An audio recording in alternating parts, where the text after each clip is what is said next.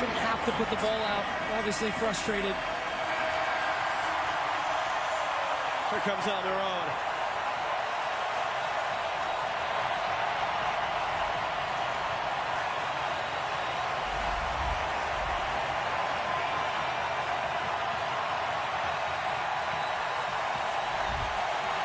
Is this his last time walking off this field?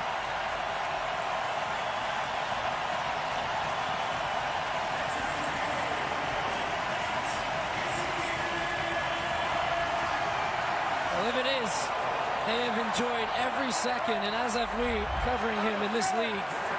Really special player. The second assist tonight. It's the curtain call here. They got to wait five more minutes, though.